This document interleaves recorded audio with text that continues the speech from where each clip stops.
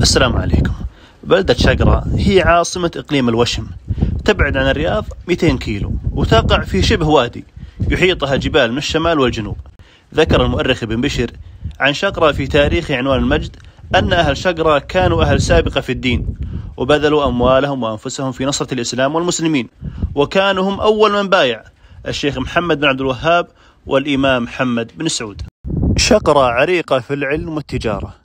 كان فيها كتاتيب للبنين والبنات قبل التعليم النظامي بعشرات السنين. وأمر الملك عبد العزيز رحمه الله بإفتتاح أول مدرسة فيها عام 1359 وهي خامس مدرسة تفتتح بالمملكة. منذ القدم يعمل أهل شقرة بالتجارة والزراعة. فوصلوا الهند يبيعون الخيول ويشترون الملابس والتوابل وامتدت تجارتهم للشام والعراق ودول الخليج. كانت الدولة العثمانية في آخر أيامها في حروبها بالجزيرة العربية إذا أرادت بضائع من المنطقة يشترونها من شقرة.